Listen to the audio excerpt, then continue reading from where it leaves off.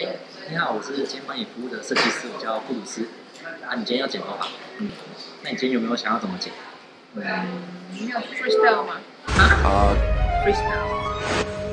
一个设计师如果没有足够的 freestyle，就代表他没有足够的实力来完成客人的需求。freestyle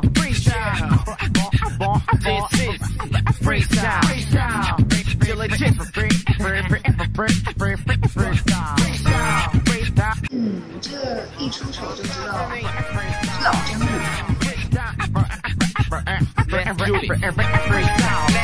코트 위에 단편의 그림을 그린 Reading feel like like an artist 빨리 공을 놀려 적줄의 눈을 홀려 보여줄 기술은 많으니까 forward 가 센터 세명 모두가 조화 속에서 자유로워 이게 freestyle F-R-E-E-S-T-Y-L-E This is time for the